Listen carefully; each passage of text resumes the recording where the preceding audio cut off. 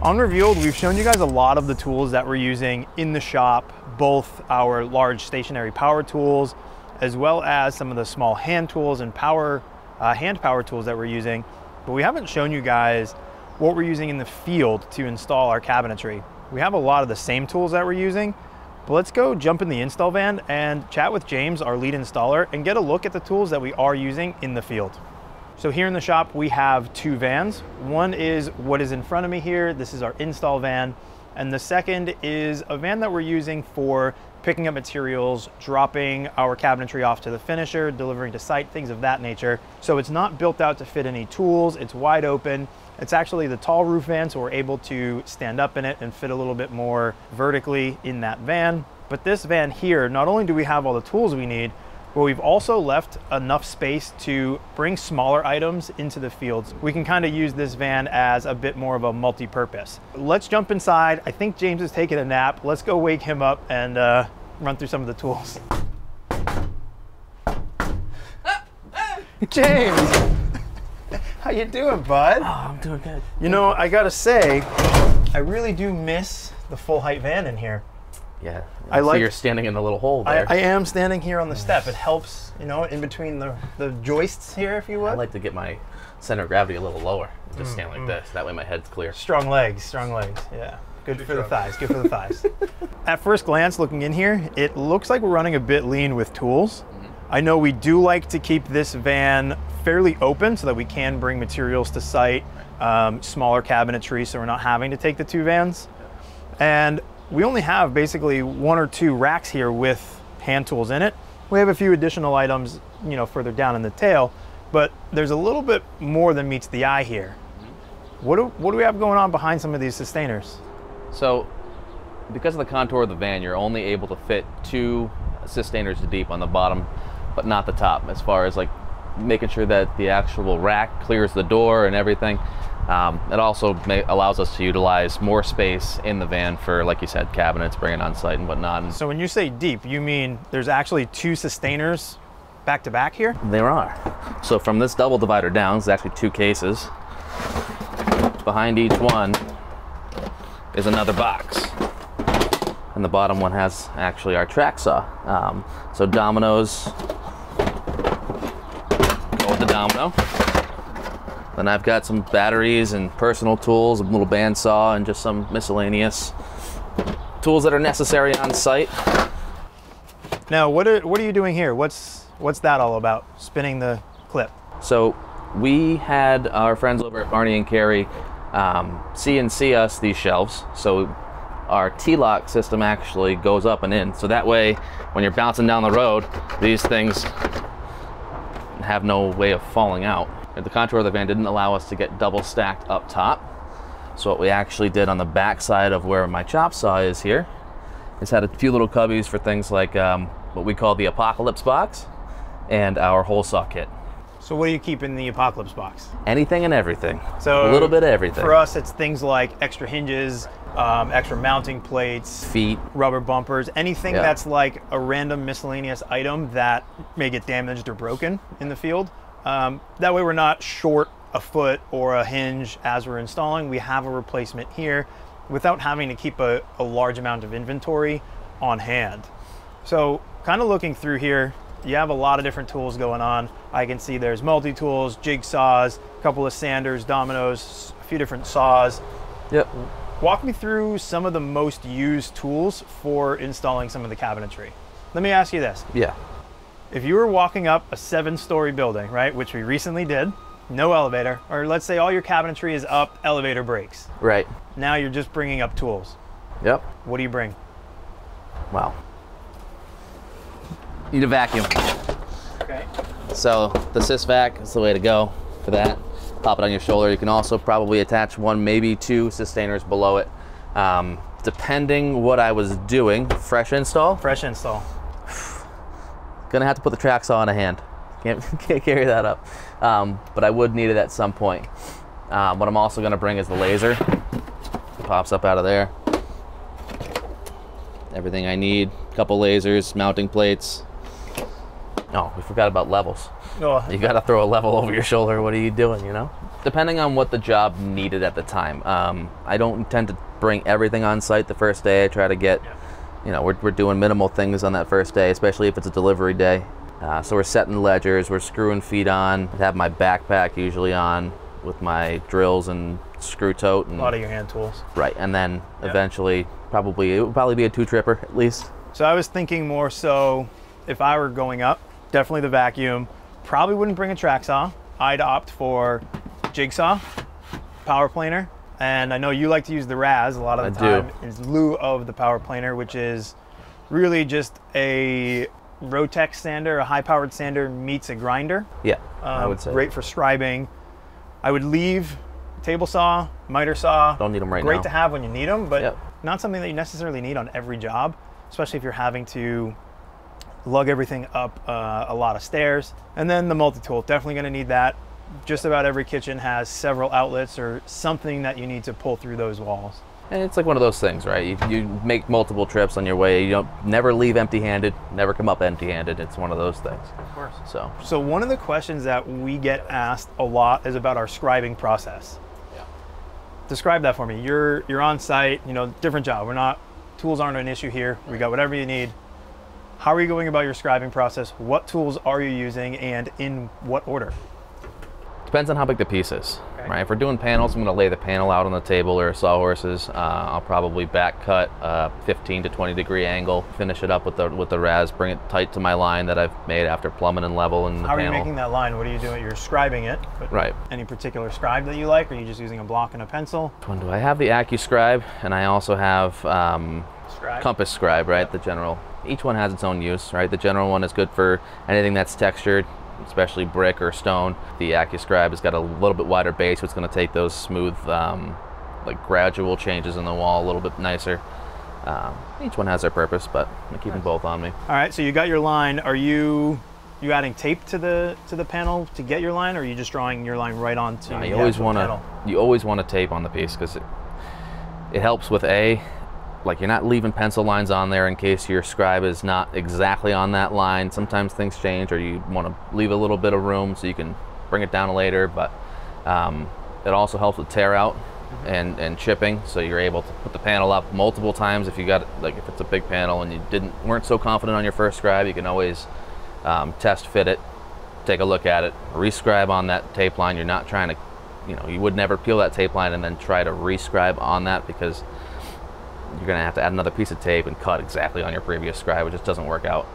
So when we get started, when we first get in the job, one of the first things that we do is set a ledger on the wall. So we're using a combination of levels, the laser.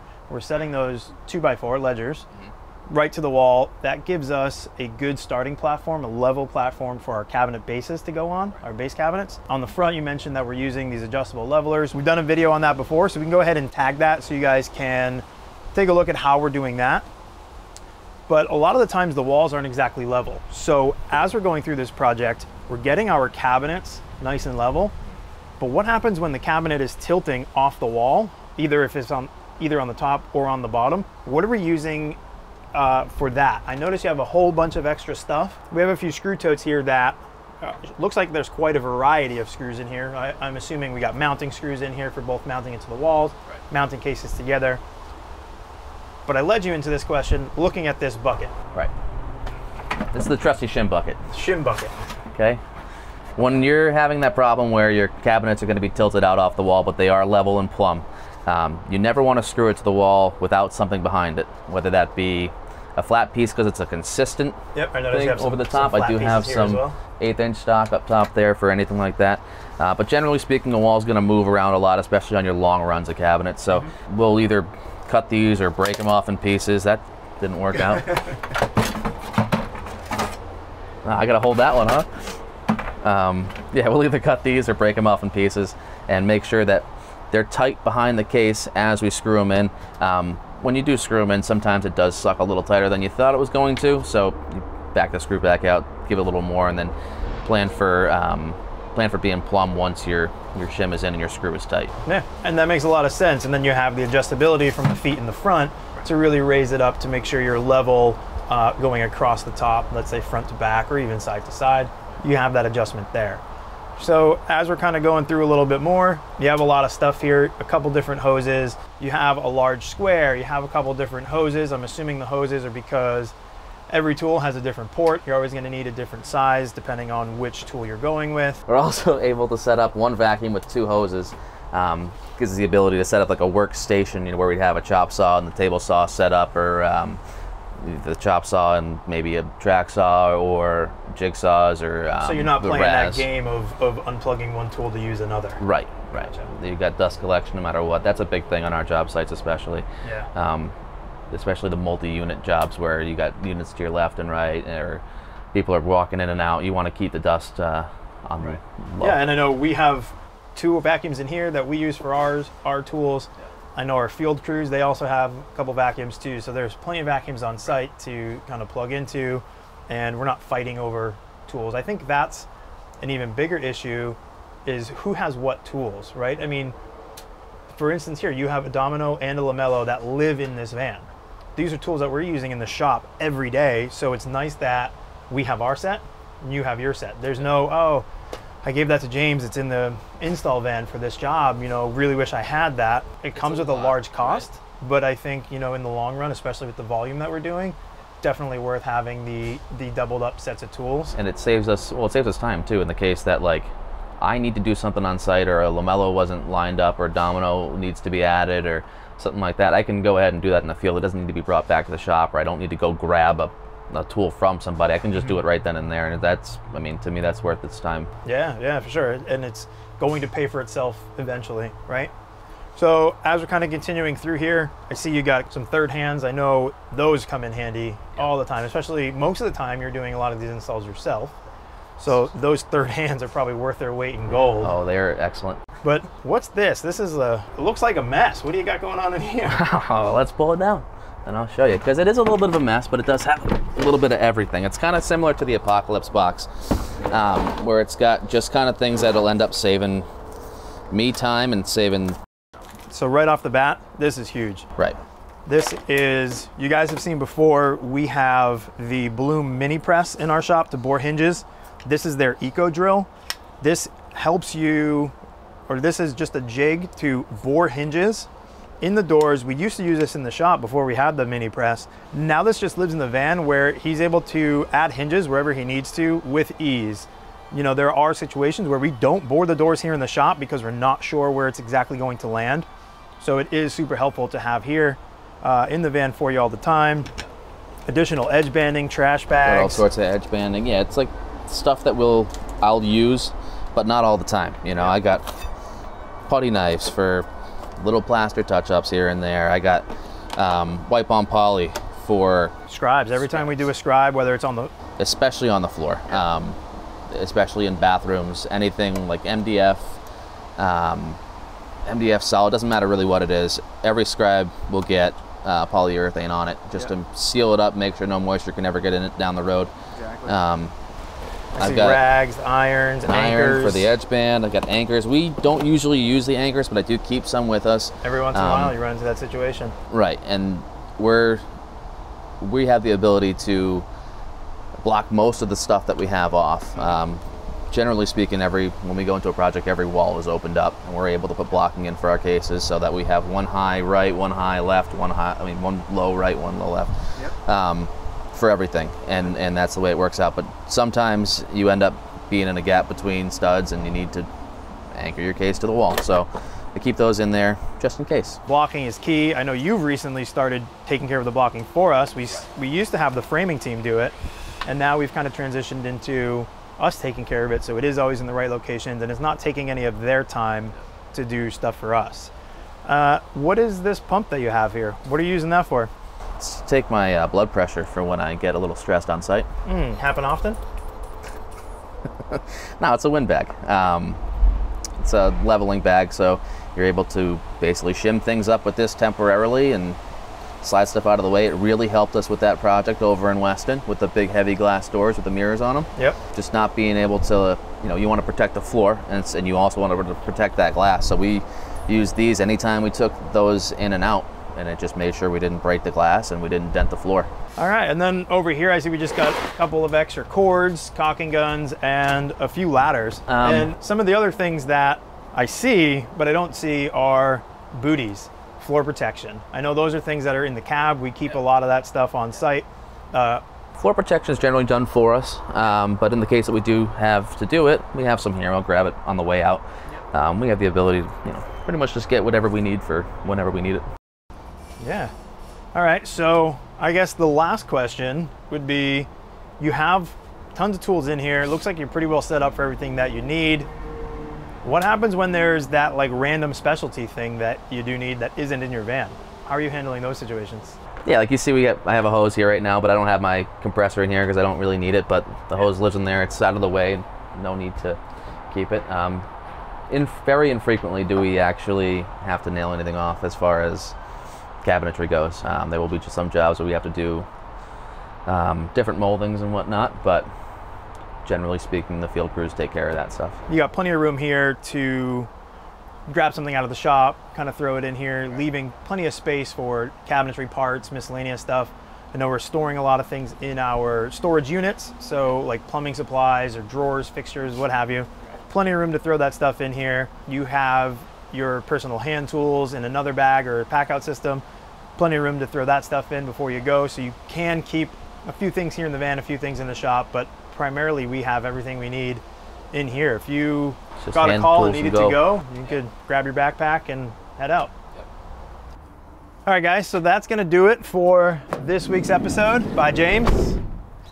Please, if you guys have any questions, drop them in the comments below. Shoot me a message on Instagram. Let us know. We do go live every Friday or Monday to answer your questions from the comments below. Subscribe, like this video, leave us some comments, and let your friends know as well. Thanks for watching. Now here's the Q&A. Do it. Welcome to the Q&A section of Revealed.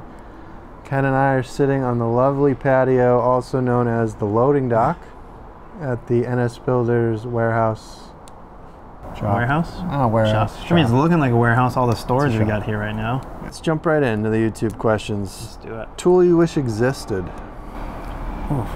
Didn't we cover this last week? Nah. No? I'm just having like I think you, PTSD you, from ans- it. you answered it in text, but I thought it'd be a Oh, fun, that's right. Yeah, I thought it'd be a fun one too. Look at the sun. Yeah, it's beautiful. you know, nothing, nothing comes to mind right off the bat. There's, and I think this is what I wrote out too. Is there's been so many uh, times where you're working on something, you're like, oh, I wish this existed. I wish there was a modification for this. Yep. Um, you know, for instance, we put a domino, a through tenon, through all of our door joinery. And at first, the distance that we're using for that domino, it's not centered on the actual. It is centered on the stiles and rail, but it's it's not within Festool's um, positive stops. They have one that's built into the machine, and then they have an attachment, and it doesn't fit on either of them. So that was one of those things where it's like somebody should invent this product that kind of bridges that gap. And um, who did it? Senco, maybe? No, that's a gun company. Totally lying. I Uh, forget the brand. Um, Not the guy to ask. but they they made it, and it's been nice to have. You know, we we picked one up, and it, it didn't take off like you would. wish, you'd- yeah. Right. I mean, I'm probably like the odd case with stuff like that. Mm. Um, hence, probably why it's not made. It's probably difficult to market something like that. Right, and you know the need isn't there. Yeah. You know, I'm one of how many people that want this tool, so it's a really one-off kind of thing. So there's a lot of stuff like that that I think pops up from time to time, but I mean, uh, I guess I'm not missing them, so I don't know that it doesn't exist. You know, until it does exist, like with the domino, where it, it bridged a lot of gaps. Nobody knew that it they needed it because they didn't know that it existed or didn't have it previously. What's uh, what's Ken's favorite hair product? TJ Chippendale.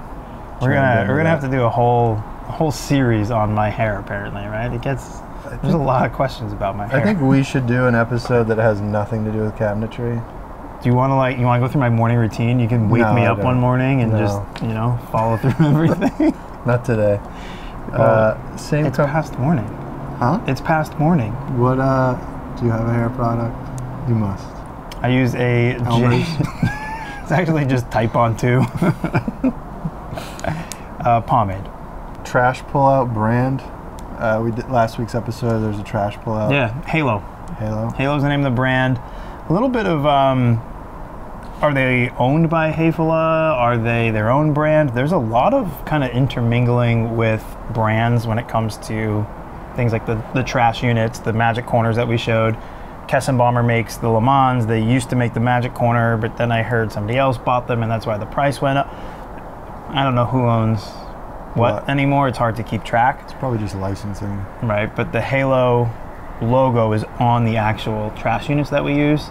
Um, so those have been great. They, they come in a couple different sizes, a couple different colors, um, with soft close, without soft close. So it's our go-to. We've had a lot of good luck with those units, so we'll continue to use them. The Hailo. Is Yeah. that something you have to special order, or can you get that? Yeah, we, Uh, we get it right off the shelf. Um, Home Depot or Lowe's It's not a Home Depot. We're getting them through Richelieu, who we get most of our hardware from. There's a bunch of other online sources that have a lot of the same hardware. I'm sure they're available on those websites as well. I mean, there's a ton of them. I can't rattle them all off. Right. Um, but yeah, if you just like search, it's H A I L O, Hailo. I think that's how. Yeah. Um, they're cargo. Hailo Cargo is what the name of that particular trash is. And usually they're in stock. We don't have any delays with getting those. They come here in a few days. What is your favorite part of the cabinet building process? Where do you get the most enjoyment? I like it uh, the front end and the back end. So I like really like the design side of it and seeing like the what the space imagining what the space could be. Conception. Right. Yep. So you kind of get that through conception, and then yeah, I do enjoy fabricating it. Don't get me wrong, but standing back at the end of the project, and you're like, okay, that's it. That's done. It's built. Like I made this, or you know, now the team made it. I was part of it. Um, that the end product is really fulfilling, and I think that's that's where a lot of guys probably. Um, might not get to see. You know, I know in shops that I've been in before and from other people, they're strictly in the shop. So they're fabricating it, but once it goes to finish or once it leaves the shop, they no longer get to see it. They don't install it. They don't get back to site for finals. A shop I was at previously, we we would do everything. We finished it, installed it, but we were never there for you know final paints, final stones, you know um, plumbing because we were just strictly millwork. Yeah. So we didn't always get to see all that.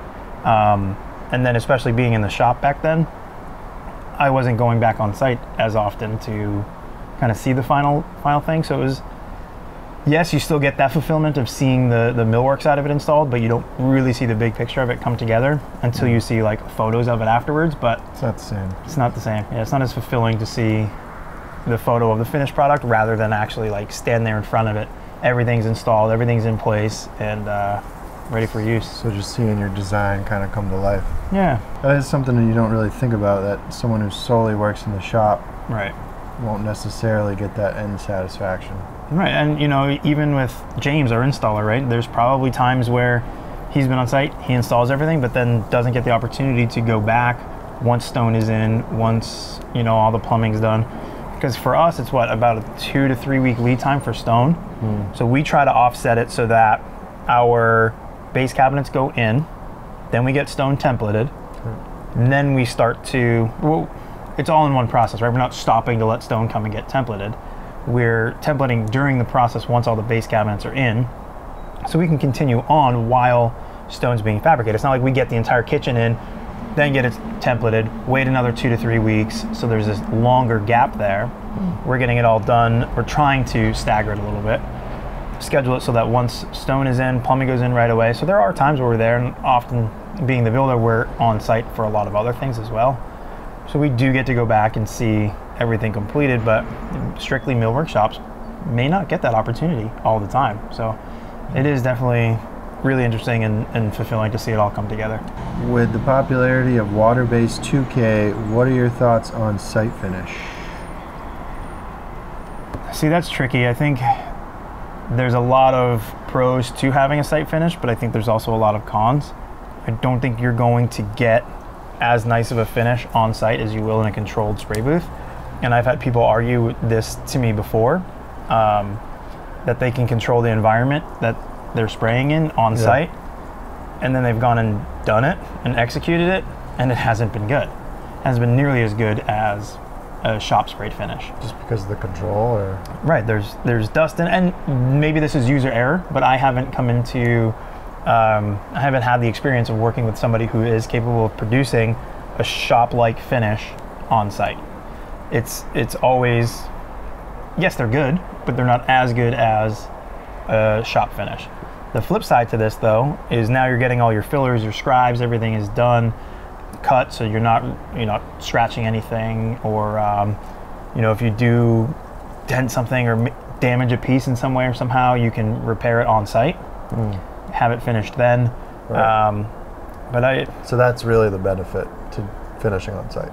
in in my opinion, from where I see it, yeah. I mean, other people who do the shop finish, uh, sorry, the site finishes, they might have a different point of view, um, and I'm interested in hearing that because it is something that we've talked a lot about doing, but you know, I, I can't can't give up the the shop finish. It's just too good from what I've experienced versus a field finish. It brings up another question that made me think of something. I've heard there are people that build their cabinets Mhm. on site Mhm. or in the shop. What kind of somebody walking up here? Not here, but Oh. next door. Obviously, we build ours in a shop. yeah. Do you see any sort of benefit or reason why you'd want to build cabinets on site? I mean, I'm sure like once you're in that space, you now have finished sizes that you're dealing with, which everything that we're doing, we are measuring typically a rough framing stage, Right. accounting for board, plaster, things of that nature. Oftentimes we we have enough wiggle room in fillers and what have you that you know we're on point all the time. We, we've done it enough times now where we shouldn't be running into any issues. That's not to say issues don't happen. I mean, Right. we've we've certainly run into our fair share of needing to remake stuff due to a mismeasurement. Obviously, the goal here is to um, lessen the amount of time that that happens. And so when you're on site, yeah, you, you can you have the measurements right there in front of you. I would say it probably delays the project a little bit because now you, you can't start your fabrication until you're a little bit further along on the field side of things. Okay. Um, but also, working on site is m- difficult enough that you're not having the same tooling, so maybe you're not getting as accurate of cuts or not using the best tool for that job. If you're a, a field guy, maybe that's all you know and you are perfectly capable with those tools. But coming into the shop and being able to use something like a slider is amazing. How else are you processing full sheet goods in the field? Like that's that's difficult. And it's not to say people aren't doing it, but it's a totally different set of tools and um, different skill sets. And you know, ultimately, I think we're much more versatile here in the shop than you can be in the field. Okay. Uh, I think the guy who asked the poly question said something. No lines between trim on the site finish. Another perk, I suppose. What part of the cabinet process do you see changing, or have you changed? You know, with experience, you've kind of modified to fit. You know, adding the domino into the doors, and this is something that we've talked about soon too, is really kind of showcasing that test. Does the domino actually help out? Right. that was something that I wasn't doing previously. Didn't didn't think it needed to be done, but now it's a standard here in our shop.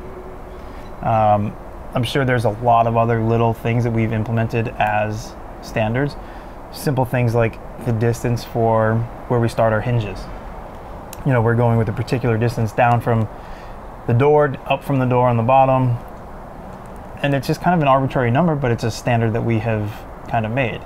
Is that kind of along the lines of what you were, I was just you're thinking, thinking? something, uh, I guess, along the lines of, uh, you know, people say, "Oh, we've always done it this way," Right. and you were probably taught a certain way, and then now that you're kind of calling the shots in the shop, maybe you're like, "Well, why have we always done it this way?" Maybe there's something. I guess the domino kind of answer that. Yeah, I guess. I guess I'm sure there are things that it's like, oh, I've always done it this way. But you know, working with Nick and the rest of the team, it's always like, well, why? Everything's questioned. Well, why are we doing it that way? How can we make it better? You know, it's not. Let's not pigeonhole ourselves to one process or one particular way of doing things.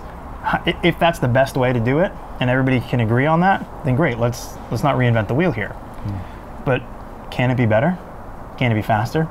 Can we get a, a stronger product out of it? Um, you know, just kind of asking those questions and always just being aware of, of if there is a better or different way to do things is key. Uh, someone chimed in here saying we have we were field building 15 years ago and shop build is higher quality and faster. Oh, got a question here. How do you guys deal with pre-finished painted crown in terms of touching up? So we actually we covered this in a whole episode, right? Um, we are making all of our crown pieces and our toe kicks, baseboards, things like that, especially like furniture base. We're making them all in one piece. So we're shop fabricating all of our miters. Oftentimes we'll run everything long. And for our inside miters, we usually run them long and cope in the field. We have coped in the shop a few times. That's where it gets difficult, where if something's damaged along the way, it makes it really difficult to repair that piece. Most often it needs to be replaced. So we'll save our inside miters, our copes for the field. Um, I guess knock on wood, we haven't had too many issues with them being damaged. Anything like if we're tacking a nail hole, it's usually like a wax filler and um, some touch-up paint, but it's tiny pinpoints, right? We're not, you know, putting like screw heads into anything that has to get repaired. So it's just kind of standard repairs. If we are damaging something, like if we've we've cut returns too short or pieces too short, and we've had to make new returns. We're not going to try to field touch that up or clean it up. It's just you're never going to get the right finish, right um, look. So we'll have to just eat it, remake it, send it back out to finish, and reinstall the new piece, and hopefully learn from that mistake. If you weren't working in the cabinet shop, what would you be doing? If you still were in construction, like what would you what would you be your next choice outside of working in cabinetry? Probably kind of where my role is heading now. I, I feel like that's a cop out answer though, right? Because like the design side of it, kind of well, like we just talked about, right? Oh, okay, fine. Let, us just go with design. I do I do enjoy that side of it. Um, I- you know, Low I'm overhead. well. I mean, some of those programs get expensive. Don't tell um, me about expensive. programs. Uh, yeah, right. Um, but I do. I, I really enjoy that side of it. yeah. I don't have enough knowledge to be a designer, you know. Um, but hey, I can learn, right? Yeah. So yeah, I, I would say I'd go with the design side of it. All right.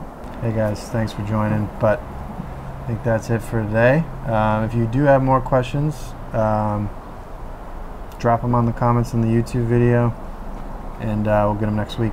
Cool. Thank you. Thanks, guys. See ya.